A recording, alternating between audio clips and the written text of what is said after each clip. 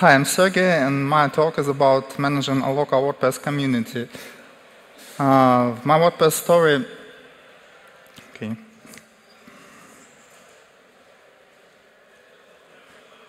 My WordPress story uh, started with translating a few strings into Russian uh, in 2007. Uh, I'm managing Russian translations and support forums since then for almost nine years. A couple of years later, I started actively working on uh, WordPress core, and now I work as a WordPress core contributor at Yoast. I'm also participating in the Polyglots team, which translates WordPress into more than 100 languages the support team, uh, which runs the forums and tries to make sure the users who need some help can get it, and the meta team, which runs the infrastructure behind WordPress org. So, uh, what does a local community mean? It can mean an online community with the Rosetta blog, uh, forums, uh, documentation in your language, and translation. And it can also mean an offline community in your city uh, meetups, and if there's a large community, also WordCamps, I'm gonna talk about both online and offline community. So, what uh, the Rosetta blog is, it's a central hub for your locale, and the place users go to download WordPress in their language. It has a news section, uh, the theme uh, directory translated into your language, the plugins in your language, and uh, support forums where users go for help and communicate with each other and answer each other's questions. Uh, it also has uh, documentation part is a codex. It's a lot of collection of wiki pages with function reference and examples. So an important task for local communities to provide translations for WordPress core, plugins, and themes. I think it's it maybe the most important task. Uh, when a new WordPress version is released, uh, the Polyglots team keeps an eye on the local stats. How, uh, here's how it looks. Uh, and makes sure that there are no issues and uh, the locales that need some help can get it. Uh, we want to make sure that WordPress is translated into as many languages as possible. So how do we keep translating efficiently? If you like, it depends on what you would like to do. If you'd like to stay in touch with the core team and report any issues you've noticed with the strings, and then I'd suggest translate in WordPress trunk. It's a version currently in development.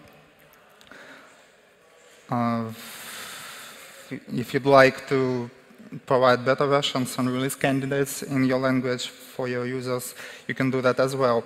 The upside of this approach is that you don't have to translate hundreds of strings at once on the release week. And the downside is that it takes about an hour per week, and most importantly, uh, the strings can change later. So if you don't like to, to, make too much edits, that's absolutely fine. Then I'd suggest waiting for a string freeze. Uh, it's generally announced a couple of weeks before the release. In the past, when you wanted to translate a plugin or theme, you needed to get a POT file, which is a translation template, install a software like PoEdit, create PO and MO files and email them to the plugin author. Well, the good news is that now you don't, you no longer have to do that. You can translate almost any plugin directly on translate WordPress.org site, which is powered by the software called GlotPress. I say almost any plugin because some plugins might not be properly prepared for localization. In that case, you should report the issue to the plugin author. So it sounds like it's now easy to translate plugins and themes and everything's great. Well, it's not that simple because if you have several thousand plugins and themes to translate, you cannot and should not do it alone. On the Translate WordPress site, there are three different roles. uh, the General Translation Editor, or GTE, who oversees translations for the whole locale, the Project Translation Editor, or PTE, who translates a particular project like a plugin or theme or WordPress core, and translator, who occasionally contributes a few strings. So in order for the translation system to work efficiently, you should have as many PTEs as possible, and you also have to make sure uh, they have read and understood the style guidelines for language. So how do you get more PTEs? When someone has translated a plugin, the plugin author posts a request on a Polyglots blog uh, to assign that person as a PTE for their plugin. You should monitor those requests, check the strings, and if everything is OK, add that translator as a PTE. If there's an issue, let them know what it is and how to fix it. You don't have to monitor the polyglots blog manually. You can set up a notification for the local code in your WordPress.org profile. You should create a translation guide to refer new PTEs to and document your team's best practices to make sure everyone is on the same side. Currently, there's no way in WordPress to reject a string with some feedback. So you'd like to, if you'd like to explain the reason for the rejection, you have to find a way to contact the translator. Another important part of a local community is support forums. I like the forums very much because answering questions from other users is a great way to learn. And most of my WordPress experience comes from tinkering with code per someone's request on the forums. However, once you start answering questions, you begin to represent WordPress itself to the user, and you should take that into account. Users don't come to the forums just for fun. Uh, they come frustrated with a particular problem and need a solution. So don't be condescending, be helpful. Like with plugin and theme translations, you cannot and should not run uh, the support forums alone. So when someone shows up and starts consistently giving helpful replies for a certain amount of time, consider making them a moderator or administrator. There will be a lot of similar questions from different users, so it might be a good idea to create an FAQ page and make sure they make sure you have a forum rules or forum welcome page as well. It's also a good idea to read the support handbook available on make.wordpress.org slash support. It has some general expectations and advice for support contributors. You should empty the spam queue regularly because otherwise some replies can easily be lost, especially if they have links in them, which would be frustrating. No need to do it manually. There are browser extensions you can set up for that like Visualping for Chrome or Distill Web Monitor for Firefox. If you're on WordPress Slack, you can participate in support team meetings on, on Thursdays and say hi to other members of the international support team. You might also want to create your own Slack team to discuss things specific to your locale in your language. So when you think about WordPress documentation, I guess the first thing that comes to mind is Codex. It's a collection of wiki pages with function references and examples.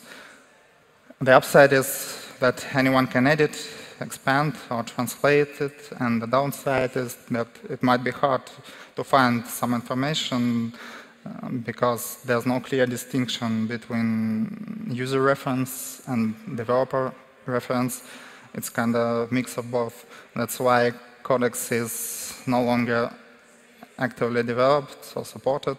In the future, it will be replaced with a user reference codename Help Hub, which is currently under development, and code reference, which is already live on developer WordPress.org. There are also some handbooks for plugin and team developers and for some contributor teams. Um, at the moment, uh, all of them are in English, but perhaps in the future some of them will be translated into other languages. So let's talk about the offline community. I recently started the WordPress meetup in my home city, and I would like to share my experience. WordPress Meetup is a group of two or more people getting together on a regular basis and discussing WordPress-related topics. There can be any number of attendees, and any the event can have any format. So what should you do?